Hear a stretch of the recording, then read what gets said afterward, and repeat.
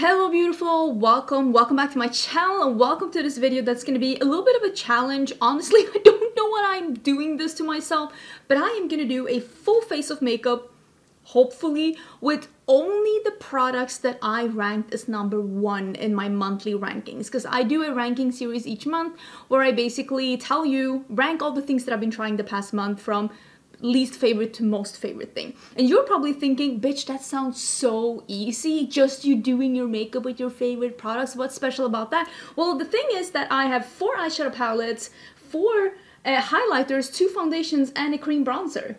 Yeah, that's what's offered today, babies. that's what we're doing our makeup with hopefully this is gonna be a fun time. And if you haven't been here before do consider subscribing because I do love playing around with makeup not taking it too serious having fun with color having fun with textures and if you want to see more of that well this is the place to be This actually was a suggestion from one of you and let's wait until the end to see if I want to thank you or not, okay? And I am uploading this as my last video of Vlogmas. I have been uploading every day since the last week of November actually. Some days I've been uploading more than one video a day and actually I've also been uploading on my vlog channel. So this is the amount of videos that I've been uploading during my Vlogmas time. Uh, yeah, it's been a lot, but honestly, I've been having a lot of fun, so I thought I'd end Vlogmas with this kind of a video, but I will let you know that come tomorrow, which is a Monday, I'm going back to my normal filming schedule for the rest of December, which means that there is going to be a video tomorrow as well, because I normally upload on Mondays. I'll talk a little bit in my new makeup releases, which is going to be on the 30th of December. I'll talk a little bit about what's coming in January, because I have some things coming up, so we'll talk about that then, but if you are celebrating Christmas, Merry Christmas. If you're you're like me and you're actually from a country that celebrates Christmas on the 24th. I hope you had an amazing Christmas Eve. And if you're not celebrating Christmas, I of course hope you're having just an amazing Sunday. Listen, we all need an amazing Sunday. So let's jump in. I'm gonna zoom in a little bit, but I'm only gonna be cheating with one item, and that is that I'm gonna bring in a powder because I need to set some places in my face otherwise it's just not gonna work out. And all of the eyeshadows that I have here none of them have like a color that's even remotely close to being like a powder color. Eh, because you know I don't like eyeshadows that is that color. So that's the only thing I'm gonna sheet with. Oh uh, I have a brow gel as well but no brow other brow product and no lip product it's gonna be fun. I will leave the playlist down below where I am ranking my makeup in case you want to go back and see like the rankings that I've done throughout the year. But the two foundations that actually ended up being on top in two different months was the Makeup Forever HD Skin and the Ambient Soft Glow by Hourglass. So we'll just do a pump of each, right? And usually, well, let me do a little bit more than a pump of this one. Actually, uh, I usually do a ranking each time of the month where I like rank everything from like least favorite to most favorite. And I will say, let me blend these together. And I will say that this year I missed a couple of months and I really don't want to do that next like year. I was thinking that I was going to be like oh, if it's not that necessary that it's in the beginning of the month, maybe I can upload like more than once a month. But instead it ended up being less than once a month and I don't want that. So next year I'm gonna be more focused on actually doing these kind of roundups a little bit more on a regular basis because I actually think that out of the things that I do here on YouTube, when it comes to like things actually being helpful, my monthly rankings are probably the most helpful thing on my channel because that is me coming back and giving my final review on things that I have been using throughout the month. I never include something that I haven't been trying out more outside of YouTube, that I haven't been like giving a proper like thinking about a bit, you know? Trying it out with different primers, trying it out with different brushes, just making sure that this product actually is good or bad. So I don't want to be slacking on that series. Oh, I need to use this under my eyes as well because I do not have a concealer. So I don't want to be slacking on this series and I'm going to make a better effort. Maybe I should do that because I saw that people were doing Mel Thompson's like resolutions tag. Maybe that could be one of my first videos of January. Just talking about like some resolutions for me, my beauty routine, my shopping, because I'm on a low buy. So it's resolutions around like your makeup routine, your shopping routines, and your YouTube routines as well. So I thought that maybe that could be helpful. I don't know if this is the exact right shade for me right now for some weird reason. Is that fudge? I made fudge yesterday and now I ate some. Don't come for me.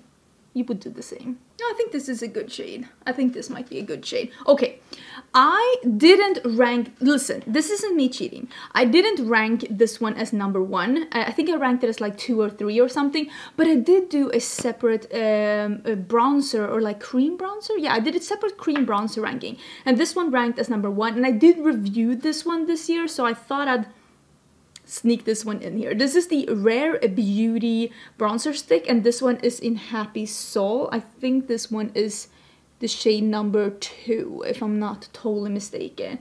I do have shade number one as well. It's actually a really nice one as well. I like putting my bronzer down a little bit here because like this part, I don't want that to be too, too much. I mean, this is the easy part. I do have foundation. I do have bronzer.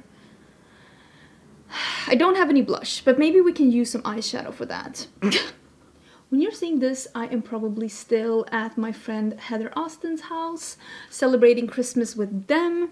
It's gonna be really lovely. I'm excited about that. It's gonna take a while to drive over, but we'll be fine. So this is the part where I want to use some powder because I feel like I am a little... I need powder I need powder and there's nothing in these palettes that are even like remotely powder color. So I'm gonna use my poof, this one, and just a little bit of this powder from uh, CoverGirl and I'm just gonna see if we can just set a little bit here and around my smile lines. That's, it needs to be set a little bit here and maybe a little bit here. I just, it needed it. Don't come for me. Don't come for me. Okay, so I have a million different uh, highlighters to choose from, but when it comes to blush, we don't have that many to choose from. But I do have this palette. This was number one and I think the last one of my um, rankings that I did. I did also do a ranking where I ranked all of my palettes throughout the year. So if you want to see that, that was a really long video. If you're interested in eyeshadow palettes, that could be it. And I did try a little bit. You can see that I put the um, the brush in here. I did try blending these two to do a brow color because like right now uh, I have more of a copper hair. So like I wouldn't be sad if my brows turned out a little warm. So I was thinking, I was lucky that... Let's go quickly. Oh boy, I was lucky that this palette at least had some neutrals because I'm not usually the person that goes for a lot of neutrals. mm. Okay. Okay. Um... You know what, I'm gonna use a little bit of this mullet, which is the lighter color, and we'll just use a little bit of, oh boy, oh boy, oh boy. It's almost like pink red. Ooh. But I have the brow gel at least.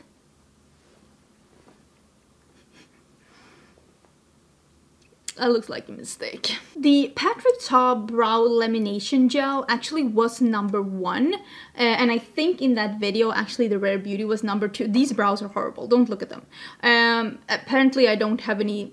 There's a very specific color scheme in the palettes. This one was the one that was offering the most neutral shades. But as you can see, it's not the shade that I needed. But this one wasn't released this year. But I reviewed it this year and I put it as number one and I don't think the Rare Beauty bronzer sticks either was released this year. I think they were released on the cusp, like really late last year.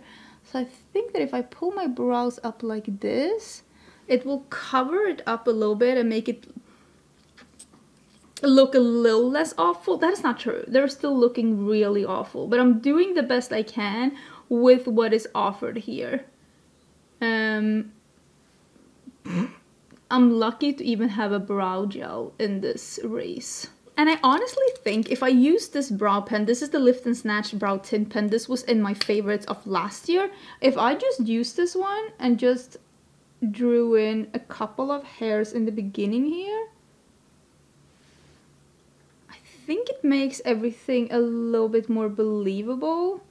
I know I am cheating again, but I just want to make it like believable, like a little bit at least.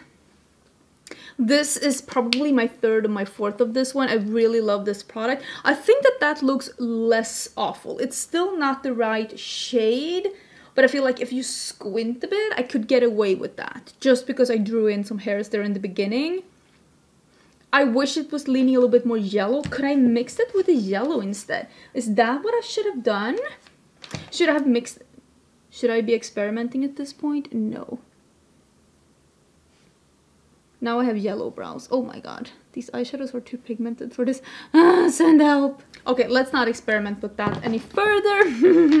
I'm gonna get myself into trouble. Okay, so I have three different highlighter products as number ones this year. I've been into highlighters. This is the Tarte Maracuja, Maracuja Juicy Glow. This is a cream highlighter. Then I have the Winnie the Pooh highlighters by Colourpop. These were the Super Shock highlighters that they came up with in the Winnie the Pooh collection. I don't think I'm going to be using these. This is the darker one. I don't think I'm going to be using these simply, and this is the medium one. The lighter one apparently is still in my collection, simply because I've been talking about Super Shock highlighters for years and years. So I think I'm going to be layering these other two because I also have the REM highlighters. I think they're so beautiful. So this one is a clicky pen. So I think I'll use this one here. And I'll actually just blend this out with a sponge a little bit. Am I allowed to use eyeshadow primer? Listen, eyeshadow without eyeshadow primer, that's a crime. I have to be able to use that, right? Listen I'm, i am cheating and using that. Otherwise it's like there's nothing i i don't even have concealer to use and foundation just isn't the same. I'm sorry no. We're doing eyeshadow primer. I have to give these products at least a freaking shot. I think this product is super beautiful on its own just like this but I also think it's super pretty if you layer something on top. I usually wear this one when I want to be like like a, more like a glow from within kind of a type, which I really feel like this is. I do have two of these. I have the Miss Mercury, which is the lighter one. This is like a lighter icy champagne. But we are going to be using Miss Saturn, which is the second one I bought. This is more like a muted rose gold kind of a situation. So I'm just going to be pulling this one Oh, I really like this highlighter formula. I think it's so good. And we're just going to be pulling this on top, making this a super, super glowy look.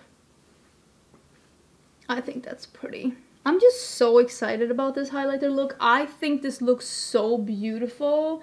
And yeah, I just really like how it looks on the skin. I just think it's super, super pretty and I'm still loving highlighted skin. I like highlighted skin, but like I want to highlight where I want to highlight. So I like a somewhat matte foundation with highlighter. Yes, I know, I'm still stuck in like 2015. Sue me. So I don't have any lip products. Let me show you the other eyeshadow palettes that I have though. I have the two Scooby-Doo palettes by Glamlite. I really did enjoy these. And I have the Serenity palette by Cosmic Brushes. It looks like this. I kind of want to do, because I did do a separate look. I did do a look using both of these together when I did the like the video on this one. And then I did a reel using this one, the, the dark one. I have a reel using a look, like doing a look with this one. So I was thinking I'll do a look with this one.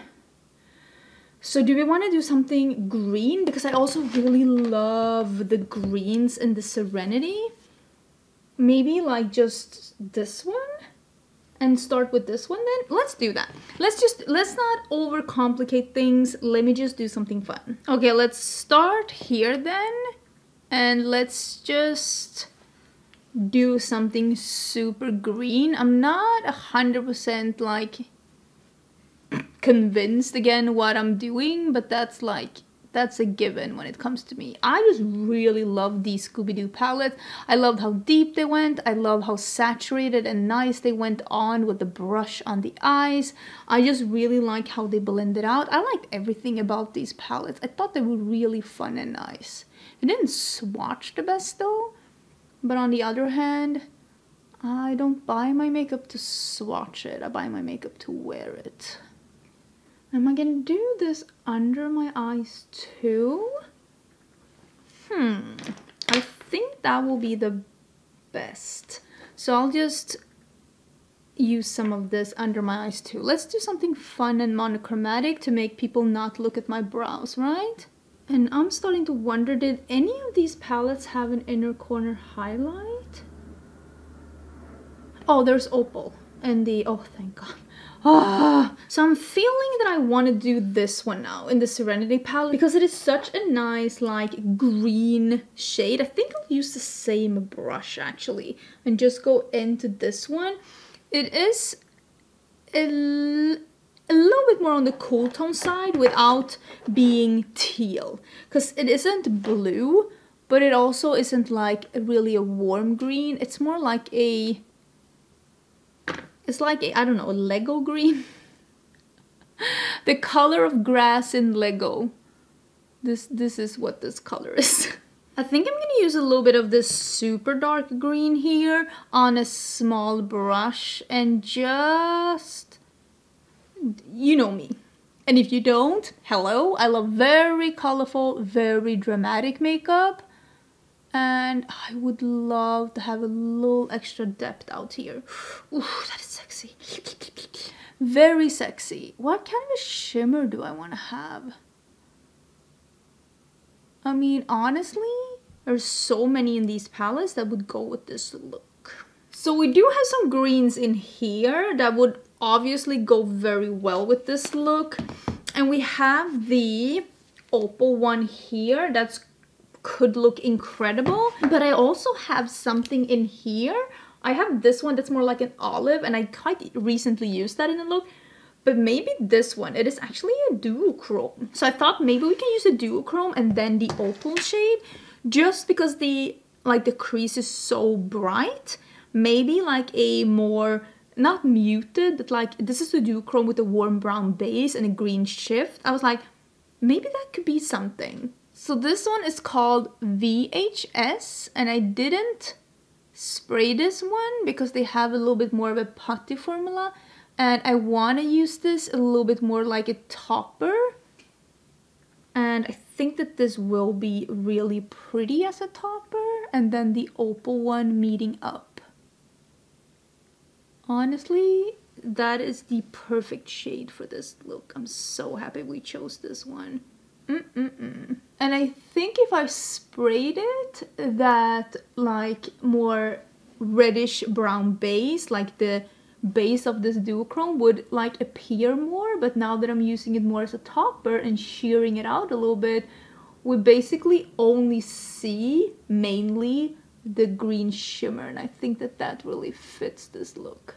That is so pretty. Okay, let's use the opal shade, which is the light iridescent, almost like a multi-chrome, like a purple, blue, green iridescent shade. So I think we're gonna use that one with what kind of a brush? This brush? I think we'll use it with this brush. I'm gonna start by not spraying this one too and just seeing where we can go. Think that's gonna be really good and then we'll meet up a little bit here. And I'm not gonna use too much of this because this one is a little bit more of a cooler almost leaning a little bit mint. So I don't want it to take over. And of course I'm gonna have to finish up with like mascara and stuff as well because like I didn't have anything like that either. But I hope you forgive me for the few missteps that I have done. Let me finish this um, I look up and then we can figure out what the actual fluff we're doing with the lips and the blush. Hmm. I mean, the eye look is beautiful, but I'm not surprised by that because like I literally was able to use some of the best palettes of the year. So I'm not surprised about that. Like it's stunning. Here comes the hard part. I'm thinking maybe we'll dip into this one, the peach up in the corner as a little blush moment. I think that's gonna be really stunning. Oh, did you sneak in? There's a Kaisa sleeping under the table. I didn't even see you, you sneaky little fox. That turned out much better than anticipated. I'm just gonna go over that with the highlighter because like, of course, an like an eyeshadow is not, according to me, as easy to blend onto the skin because of the pigmentation as a blush is. But that looks really pretty. Okay, good for us. Here's what I'm thinking. This is gonna be the last one and like this is lipstick. I'm thinking maybe this one as like a nude. I don't know what I'm doing. This is one of the colors I wore in my brows.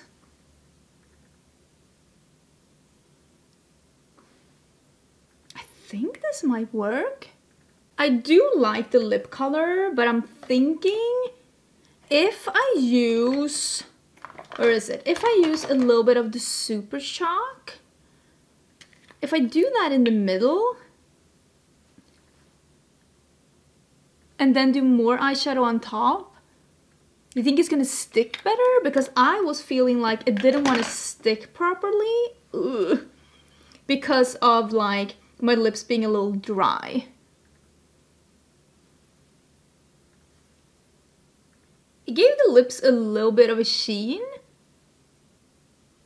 But maybe that's just making it more believable that it would be a lipstick. That's not horrible. Like I would have lip colors like this.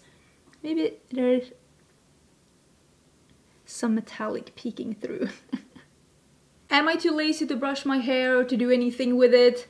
Correct, but I think I'll get away with it. And I'm showing a little bit of the, I feel like it really, I mean, this makes it work with the brows a little bit. I don't think, like I'm gonna wear this makeup. Listen, if I do makeup, I'm wearing the makeup. The only makeup that I actually washed off immediately afterwards is that when I did the full face of the worst makeup, I washed that off because it looked horrendous. It looked really, really bad. This makeup, I'm keeping it on. I think both the brows and the lips are looking really good and the blush is looking very, very believable. I don't think that it's you can see that I'm not wearing a concealer. I mean, I think it looks really good. And to be honest, sometimes I feel like concealer is an extra step unless you're having really, really dark under eyes.